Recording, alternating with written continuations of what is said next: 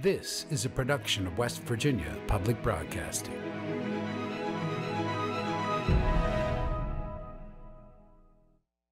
Support for the legislature today is provided by Marshall University, committed to teaching, research, and professional training, with degree programs in multiple locations and online. More about the Marshall family at marshall.edu.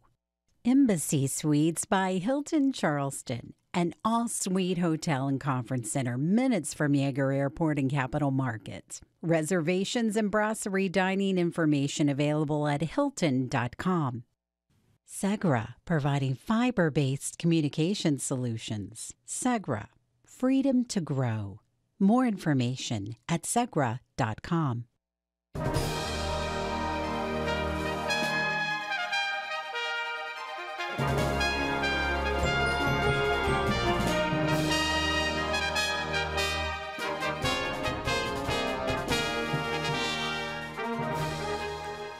Welcome back to the legislature today. I'm Bob Brunner. Thanks for joining us.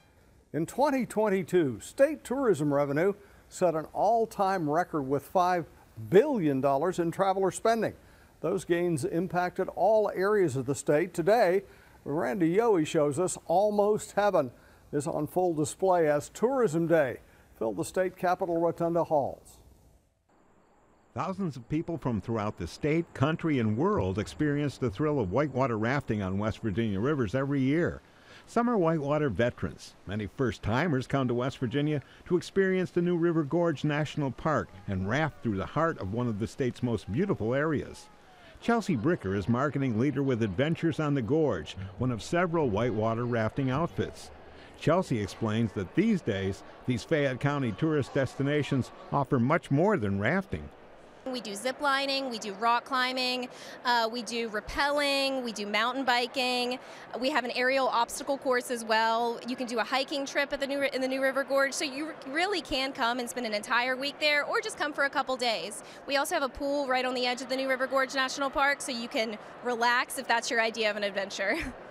A hidden tourism gem in Mason County, the West Virginia State Farm Museum offers snapshots in history representing the industry of the farm as well as the state's farm heritage.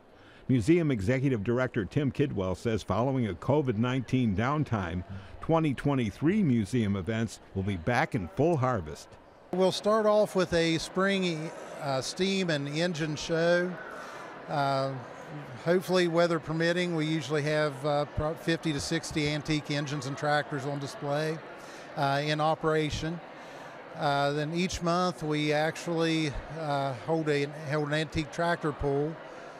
Uh, then during the summer we have a uh, tractor ride and a show. And we'll be wrapping up the year this year with our um, fall festival. One Tourism Day display presented by Jay Fryman with Backroads of Appalachia showcases his popular regional motorsports trail ride organization, which is now getting legislative approval for people to ride into West Virginia. Backroads of Appalachia is a nonprofit organization who does economic development through motorsports tourism for the poorest regions of Appalachia. We work in eastern Kentucky, southwest Virginia, eastern Tennessee, and now West Virginia. We're working with West Virginia State Legislature to develop a trail system here and promote it to bring that tourism into these small towns who haven't had anything since coal went out. So that's what we do. The state currently employs more than 44,000 direct tourism jobs. With estimated growth, they expect about 24,000 annual job openings, many of those in the hospitality industry. Those tourists have to be housed and fed. The past few years, southern West Virginia's Hatfield McCoy ATV trails have rivaled whitewater rafting and winter skiing in bringing in thousands of out of state tourists. John Fichetti, Deputy Executive Director for the Hatfield McCoy Trail, says last year they sold 95,000 trail passes and 80% of those were non resident out of state people. Fichetti says the challenge is finding places in the coal fields for those trail riders to lodge and eat. We need more entrepreneurs. Uh, we need more development. Um, we're seeing some of that now. We saw a couple big resorts uh, uh, come in in the last couple years. Uh, the Ashland Resort down in McDowell County, they're growing. Uh, they've been around for about 10 years. Uh, we've got the Devil's Backbone over in Red Jacket. They've got almost 50 cabins and in the process of building 100 more. Uh, so the developments are coming, but we need more. In Nicholas County, meanwhile, high schoolers have started the Good Golly Coffee Company, giving students a head start in one of the many tourism hospitality trades. Katie Goetti, the ProStart culinary teacher at Nicholas County Career and Technical Center, says food tourism or food niches are really quite popular right now. And a barista job may offer more interest and advancement than your fast food endeavor. It's great for these students. It's an empowering first entry level job into the business instead of fast food because as a barista or roasting coffee, you have to learn the flavor profiles, which is a great entry level culinary uh, skill. And also, you have to have customer service and get to know your customers and what kind of how they want their coffee, how they like, you know, what blends they like, and how they take their coffee. West Virginia's record setting 2022 tourism gains were impacted throughout the four corners and two panhandles of the state, with even stronger revenues expected in 2023. For the legislature today, I'm Randy Yohe. A bill passed in the Senate Monday morning requiring all West Virginia hospitals with emergency departments to have a trained sexual assault nurse examiner available to treat survivors 24 hours a day. Reporter Chris Schulz and Emily Rice have that story. Senate Bill 89 passed the Senate on third reading Monday morning. Issues around proper care for victims of sexual assault or abuse were also a topic of conversation during interim committee sessions. Senate Bill 89 addresses those issues by calling on the state's hospitals to implement training as soon as possible to meet their 18 month deadline. Senator Mike Woelfel of Cabell is the lead sponsor of the bill. He says he's been working to pass this bill for three years. People have been known to walk out of the hospital, victims. It's just too intrusive and they wait hours.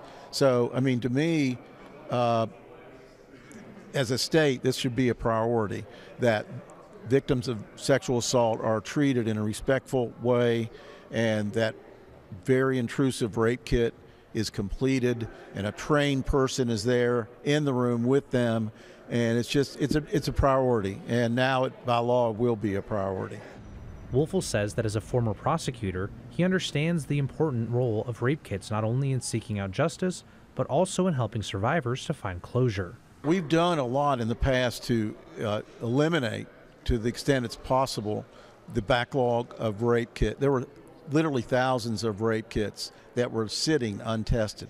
So there is a backlog, but we have state law that we've enacted in the last couple of sessions that has eased that backlog.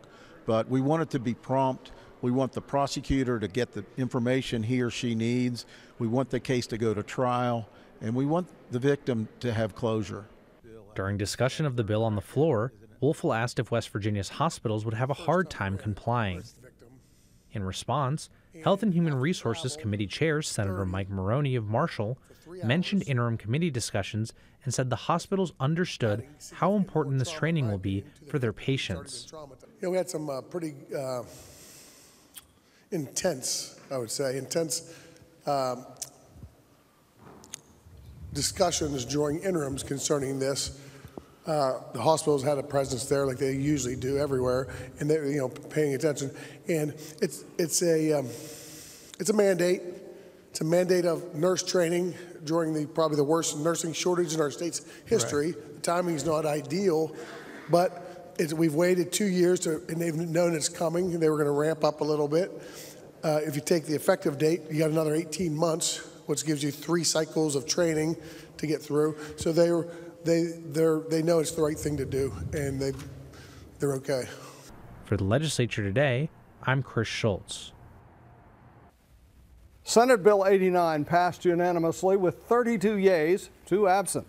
The bill now goes to the House of Delegates for its consideration. The Senate passed three other bills Monday, including Senate Bill 59, which changes how unemployment benefits work in West Virginia. Chris Schulz has more. Senate Bill 59 makes several changes to the system of unemployment benefits in the state. Senator Tom Takubo of Kanawha is the lead sponsor of the bill. He says the bill aims to help target benefits fraud that saw a spike during the COVID 19 pandemic. For example, I got contacted that I had filed for unemployment and all those benefits were, were kicking in. I obviously, being a pulmonary physician during 2020 and 2021, is the busiest I've ever been. Um, but it's outside entities, it's foreign governments trying to get in, break in terrorist system, uh, computer hackers. So there's always going to be more fraud. What this does gives more latitude to workforce development state to be able to defend against those uh, fraudulent activities. Takubo also said the bill aims to alleviate the burden of unemployment tax on the state's businesses. He said the bill ultimately aims to modernize the state's unemployment laws to reflect the modern workforce and work environment and try to help more people get back to work in a modern world. What we believe we can use this bill to help match jobs uh, that are good jobs for people looking for those and, and improve our workforce participation. Uh, we're still one of the worst in the country. Uh, part of that may be that uh, they're having more difficulties. The bill also lowers the maximum number of weeks unemployment benefits can be received from 26 weeks to 20. Senator Mike Caputo of Marion voiced his opposition to the changes during discussion of the bill on the Senate floor. He drew from his own experience of being on unemployment and said the changes Senate Bill 59 makes are too harsh on workers. When things got a little slow in the mining industry and myself and my friends got laid off, we wanted to go back to work. We wanted to go back to work desperately. But sometimes things just weren't available to us. You know, there was a time when, you know, folks were laid off for years. But somehow, for some reason, this bill reduces the number of weeks that a worker can collect unemployment benefits. Today, an unfortunate worker who gets laid off can get a maximum of 26 weeks. If this bill passes, it will be anywhere from a minimum of 12 weeks to a maximum of 20 weeks. Well, I'm going to tell you, things get tough sometimes. Things get extremely tough. And sometimes 26 weeks is not enough. But I tell you what I do know I do know that 12 is not enough, and I do know that 20 is not enough when you're trying to pay the light bill. Takubo said the bill is just one tool in the state's toolbox to address workforce issues, and they are always looking for more. We're trying to to look at all facets uh, to help as many West Virginians as we possibly can. Uh, and so, one thing I would say is legislators are all ears. What we need is is all help we can get. So, um, anybody out there that has uh, uh, ideas that maybe would help us with this or any piece of legislation, please let us know. For the legislature today, I'm Chris Schulz. Governor Jim Justice and the legislature are at odds on what to do with budget surpluses the state is currently enjoying. Those surpluses range into the billions of dollars. Earlier today, Justice had a town hall meeting in the Capitol Rotunda to promote his position. We're two thirds of the way home, aren't we? You know, and from the Senate side, the Senate is asking questions and mulling over, and we tried. We tried to move toward their side because they wanted to go big, big splash in the pond, 50%. We did it. And I am very, very hopeful, and I'm going to stay extremely positive and say, you know, they're continuing to, to work and do good stuff. Let's don't drift into bad thoughts. Let's stay positive good stuff and everything with everybody and say everybody's trying as hard as they can for us to get there.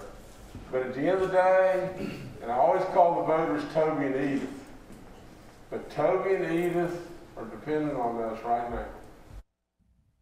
The House of Delegates recently passed a bill that follows Justice's outline of a 50% reduction in personal income tax over three years. Senate Finance Chairman Eric Tarr, a Republican from Putnam County, said the idea is a non starter in the Senate. The Public Employees Insurance Agency, known as PEIA, is the health care beneficiary for state employees, notably teachers, among others. Rising costs in health care have put the program in jeopardy. Governor Justice declared employee premiums would not raise when he was governor. So far, that's been true. Those rising costs have now driven the PEIA into a $92 million deficit, one plan that keeps employee premiums flat through 2027 also projects a nearly $400 million deficit that same year. Reporter Chris Schulz wanted to look into the problem further and he brings us this interview. Thank you, Bob. Fred Albert is the president of AFT West Virginia, and Delegate Charlie Reynolds is a member of the House's Health and Human Resources uh, Committee. Did I get that right, Delegate? Is it? Yes. Yeah, okay, excellent. They both join me now on the legislature today. Thank you so much, gentlemen. Thank you. Thank you. So, PEIA, this is an issue that is, is not new uh, to the people of West Virginia, but we're finally actually seeing some action on it. Um, and as many people know, this actually, well, it didn't originate, but it really caught people's attention immediately before the session, right in your backyard, uh, Delegate, with Wheeling Hospital announcing that this summer they would no longer be accepting PEIA insurance. Um, have either of you heard anything more from uh, uh, providers or institutions across the state that they are considering similar action? I personally have not heard, other than I do know that several of our members from AFT around the state have contacted me to tell me that Kroger's is no longer, no longer accepting PEIA for prescriptions. Now, I'm not sure if that's why that is. Uh, I have not contacted Kroger's personally, but I have heard that Kroger's no longer uh, will be accepting PEIA for prescriptions. And that Walgreens, I believe, is one of the drugstores who have stepped up and said, we will, we will continue to take prescriptions, and if you had a, your prescriptions filled at Kroger's, you can come over to Walgreens. So I, I don't know what's going on there, but that's the only other thing that I've heard, other than I did hear Senate President Blair say early on with the situation with the Wheeling Hospital that this could become contagious. Uh, at this point, I don't think it has, but you know, it possibly could. So, Mr. Albert, you, you kind of precluded my next question, which is what have you been hearing from your um, members about the PEIA situation? I mean, you gave us a good idea there with prescription issues, but I mean, are they getting the coverage that they need as of right now? Well, so far, yes, other than, you know, what's been announced in the Wheeling area. But I think there's a lot of consternation or concern that that could rapidly spread to other hospitals because we know that the reimbursement uh, for PEIA is under what the reimbursement for Medicare is. So that is a real issue. So let's talk action. Delegate, we've seen some activity in the Senate on the very first day. The second, I think, if not third bill um, that the Senate suspended its rules to pass was this PEIA bill from uh, Senator Ryan Weld. Uh, what have you seen or what are you hearing on your side of the legislature? Well, uh, Chris, uh, from day one, when the announcement was made, then I took action. I wrote a letter to the governor, uh, and the governor's office was in contact with me. Kudos to the governor's office. They're moving fast uh, as they can on it. Uh, and then uh, Weld out of the Senate, like you said, passed some legislation. Uh, there's also some legislation on the House side. And so what we're doing is we're taking a look at all the legislation that's up because we want the best for our West Virginians. And uh, on to what you were saying, uh, it's funny you mentioned the prescriptions because you were absolutely right. Right before I walked in here, Kroger's just sent me a text saying that I was cut off from my wow. prescriptions. I also have PEIA insurance. So it is an issue, and it's an issue that we're taking uh, real concern. This, this isn't something that's going to uh, fix itself overnight. This has been kicked down the road now for several years. It needs to be addressed. And uh, so I want to make sure when I go to vote on a bill that it's the right bill. So I want to take a look at everyone's bill. And there's quite a few bills. We got a lot of smart people in the, in the legislature. Can you share any concretes with us? I mean, any particular bills that you're looking at or any action that you hope to see come out of your uh, committee? Not right now. I'd rather not right now. Um, all right, well, that's, that's fair. But I, uh, so one of the things that we do know that's been going on is the fact that, as you mentioned, Governor Justice has been taking action. Um, for several years now, he has been committing $100 million to kind of backstop PEIA. I wanted to ask you both, I'll start with you, Delegate. Um, is that sufficient? I think I know the answer to that question, but also can we rely on that? You know, the governor said that he's going to maintain that throughout his time in office, but uh, that's coming to an end here, unfortunately. Yeah, he he, uh, he has, and and I believe he will. Uh, but at the end of the day, it's a savings account that we keep taking money from, and uh, that, that savings account's going to run dry again. So it needs to be, I think, addressed. So, Mr. Albert, same question to you. I mean, is this sufficient, and, and can we continue to rely on this system? Well, first off, I want to say thank you to the governor who has kept his word so far, and he has kept the premiums uh, from rising, from you know going up, as he said he would. But we all know, as delegate said, this did not happen overnight. Uh, it's been going on for a while, and we had a task force uh, after the 2018 teacher walkout. Uh, but you know, PEIA doesn't just affect teachers; it affects all public employees in West Virginia, or most public employees in West Virginia. Um, and we had a task force put in place to try to find a long-term solution, and that task force sort of fizzled out. I don't know when was the last time that they met, but this is ongoing. Uh, it is concerning because when the governor's term is up, and whoever follows him, they're going to have a mess on their hands, we're afraid, because the projection is, I believe by 2025, perhaps, there could be like a $346 million shortfall in PEIA. So we know something has to be done uh, before then. And I think most employees do expect at some point they're going to have to have some skin in the game as well. They're, they do expect it to pay some more on their premiums. But um, Again, we're grateful to the governor for what he's done. We just need to find a long-term solution. So, Mr. Albert, I'll continue with you. I mean, as you've just laid out for us, this is an issue that we've known about for at least five years. You mentioned 2018 there. Um, let's, we've been talking here in the short term. Let's talk long term here. I mean, for PEIA to continue to be viable moving forward, not just beyond this legislative session, what do we need to see happen? Well, we need to look for, at funding sources. Where can we go? You know, we have a major surplus right now, uh, and I know that everyone has their hand out, uh, wanting their share or their fair share or some money. But it's I, I consider it an investment in our future for our uh, public employees, for our school teachers, for our service personnel, to invest in their future to make sure that their health care is secure. Thank you, Mr. Albert. Uh, so Delegate Reynolds, I mean, what, in your opinion, do we need to do? Uh, you know, is what Mr. Albert just laid out for us sufficient? Well, it, it could be if you went a certain route. Uh, let's say employees have to, uh, rates go up and they may have to pay a little bit more. Uh, that's one way of going.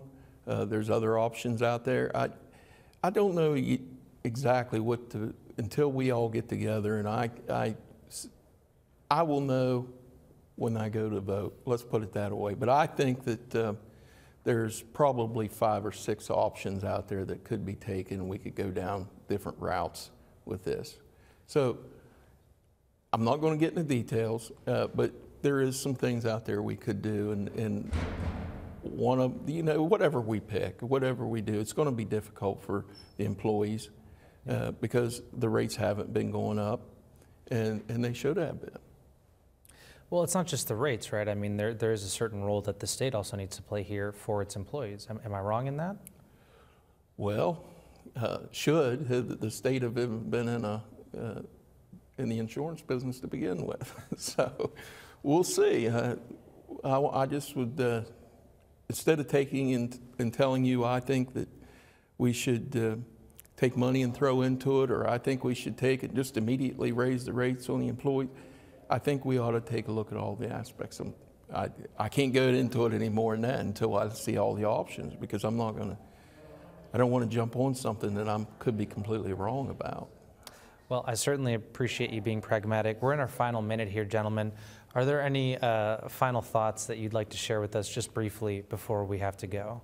Well, I would like to say, you know, for years, in lieu of pay raises, uh, school teachers and public employees were given good benefits through PEIA. And then there came a point where they're out of pocket copay, the premiums were rising to the point that money was being taken away from them because they didn't have a pay raise.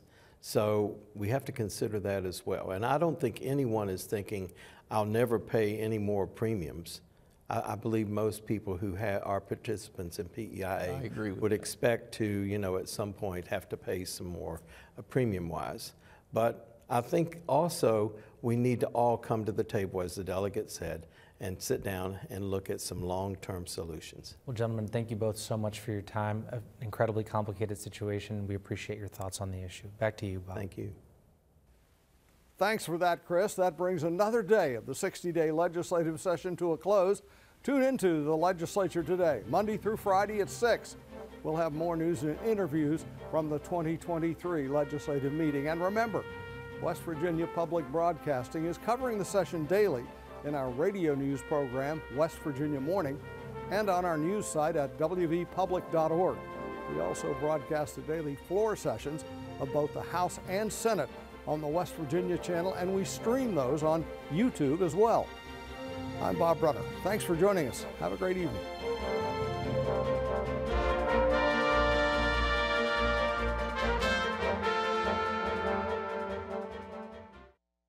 Support for the legislature today is provided by Marshall University, committed to teaching, research, and professional training, with degree programs in multiple locations and online. More about the Marshall family at marshall.edu. Embassy Suites by Hilton Charleston, an all suite hotel and conference center minutes from Yeager Airport and Capitol Market. Reservations and brasserie dining information available at hilton.com. Segra, providing fiber based communication solutions. Segra, freedom to grow. More information at segra.com.